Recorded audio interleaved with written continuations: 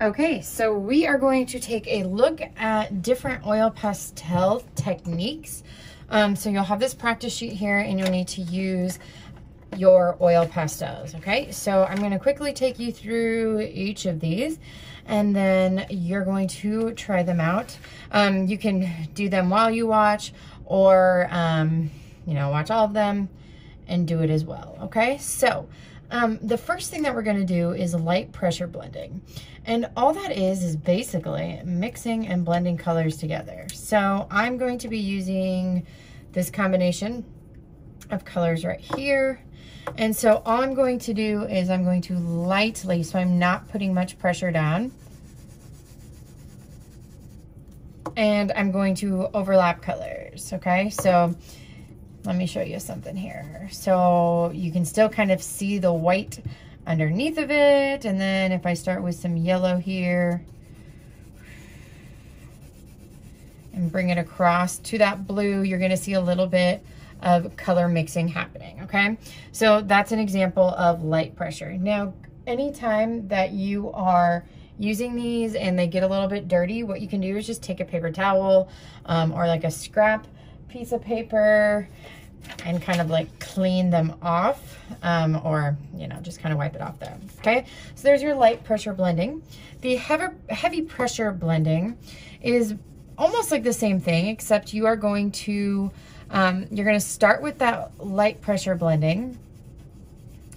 But as you do with this, you are lightly going to overlap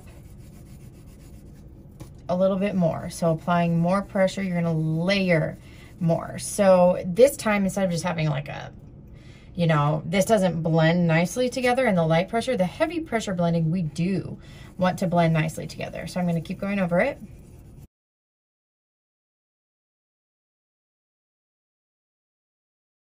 So now we have a much darker color um, and it really blends a lot better together as well, okay?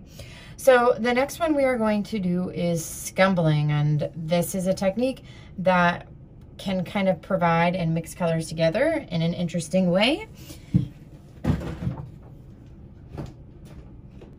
So here I'm gonna start a little bit darker and I'm going to, it's almost like you're just scribbling.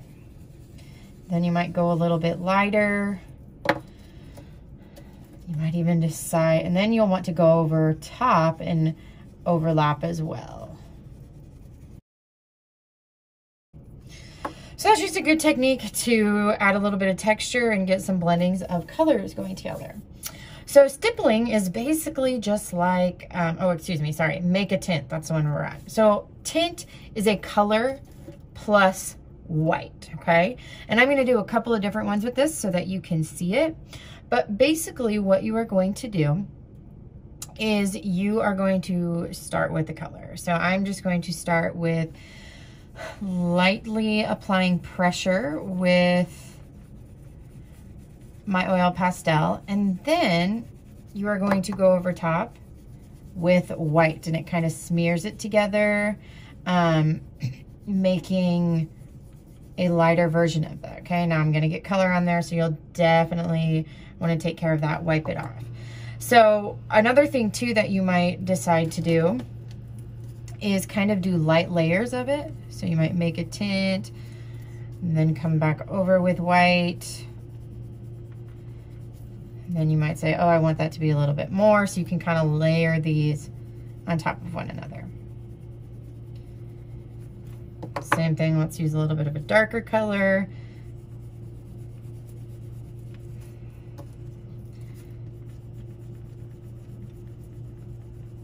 All right, so that's just blending by making, adding white, okay?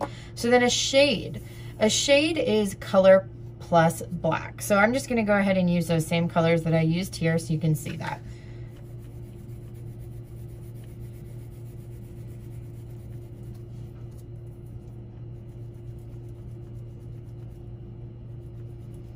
So now with this, the black really overpowers it. So I'm definitely going to need to go back over top with this color to blend and kind of use some of that heavy pressure blending. So this is gonna be more beneficial if you're using light layers of black. So let's go ahead and actually, for this one, I'm gonna just start with a light layer of black here.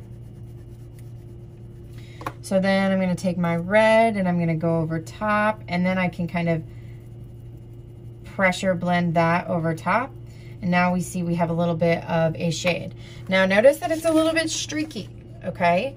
Um, so then you might actually say, okay, I need to go over with black to add in a more solid color depending on what you're doing. Okay, so there's my shade with that. And then here we'll actually do this with this darker color.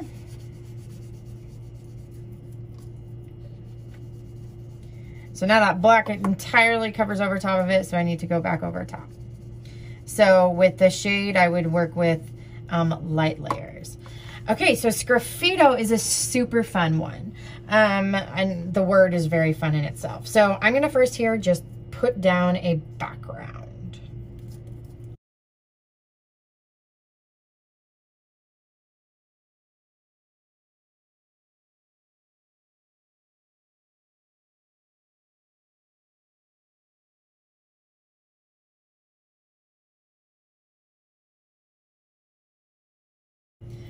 Okay, so here I have a solid colors blending together and now I'm actually going to, um, so you can really see it, I'm going to use kind of this black transitioning into, um, let's see, an opposite color. So I want it to be opposite of the colors that I have from underneath here.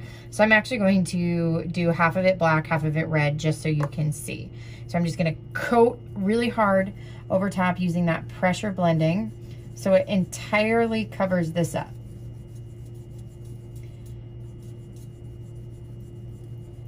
Okay, then I'll finish this last part off with red. So notice that maybe some of it's kind of blending together, but not a lot. Okay, so now what you're going to do to get that sgraffito technique is we're going to scrape this away. So you can use something like um, a toothpick or the back of a pencil, basically anything that will scratch away. So then what I'm going to do is I'm scratching away at this top surface and it's revealing that color that is underneath. So notice that this toothpick is a little skinny, so my lines are small. The uh, back of your paintbrush isn't gonna be as sharp, so you can still get some lines in there, but it doesn't see, go through as distinctly. Um, so you'll just need to find something that works for you and I'll have some different tools that you guys can use in the classroom too.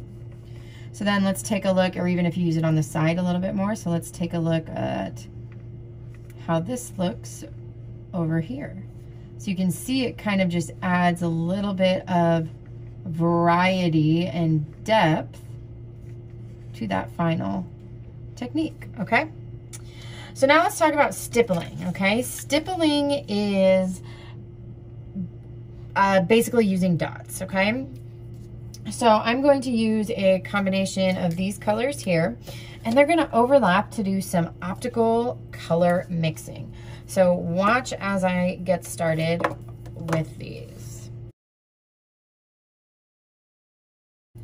Okay, so notice even though I didn't um, blend anything together, where the colors overlap, it does kind of create this blending illusion. So you can get some really cool effects with this, okay? Um, we're gonna skip this oil blending one for now and we'll come back to it. But these bottom ones all have to do with mixing colors, certain types of colors together, okay? So this first one is to blend two complementary colors together. And there's a resource for you in Google Classroom that looks at, shows a color wheel. Remember, complement colors are colors that are opposite each other on the color wheel. So blue and orange is an example of complement colors. Purple and yellow is an example of complement colors. Green and red are also examples of complement colors. There are more that you could use, but I'm gonna go ahead and use blue and orange. So I'm gonna blend them together um, in a similar way as what I would do for my heavy pressure blending. But I'm starting off lightly. So I'm gonna start over here in the orange and then as these colors come together, you'll notice that when you blend complement colors together, you actually get brown. and you can overlap. Feel free to experiment with different color combinations um, to see what that what see how that works. Okay, so blending two cool colors together. Cool colors, um, and there's also a document in Google Classroom for you to look at. Cool colors are our blues, greens, and kind of purples. Those colors that make us feel cold, okay? Maybe we think of like the nighttime. So I want you to practice blending cool colors together. So I'm going to actually do um, this purple and blue. I'm going to use actually, because so these are all considered cool colors. I'm going to blend those all together.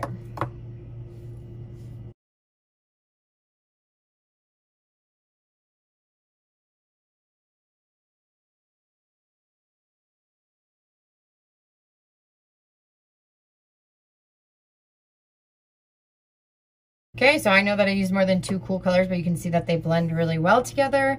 Um, and now I'm going to blend um, two warm colors together. So I'm just gonna go ahead and use yellow and red.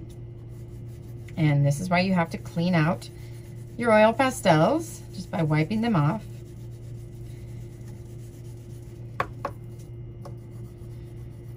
So now when I overlap these, we'll notice that we have some color mixing that is occurring.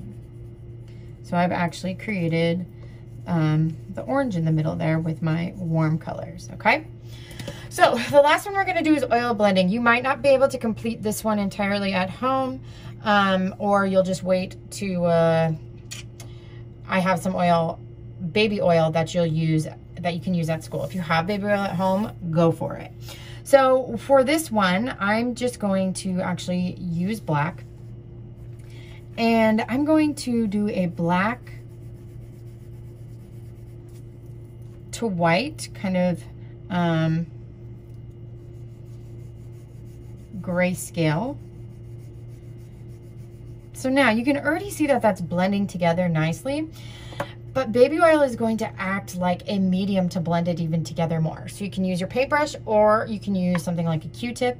You just dip inside of that baby oil. And I'm gonna start with my lighter colors